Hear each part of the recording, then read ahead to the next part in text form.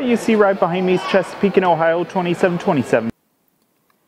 Chesapeake and Ohio 2727 was built by Alco in Schenectady, New York in 1944 and is the 70876 steam locomotive built by that factory and is a 284 Kanawha type steam locomotive and is a K4 class steam locomotive.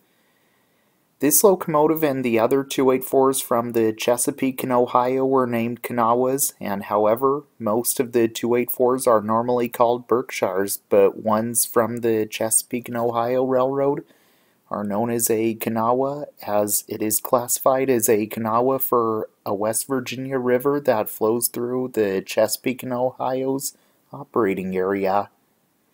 Also, it is one of the first 40 of its type numbered from 2700 to 2739.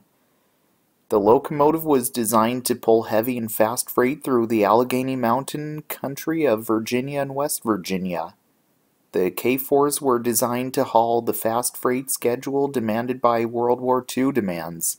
They were based on the 284 design used on the Nickel Plate Road and Pere Marquette which was common to the four railroads controlled by the Van Sweringen brothers. The K4s were extremely successful and operated over most of the Chesapeake and Ohio railroad system, hauling passenger trains as well as freight. Then it was retired and in 1956 it was donated to the National Museum of Transportation in St. Louis, Missouri by the Chesapeake and Ohio Railroad where it is today.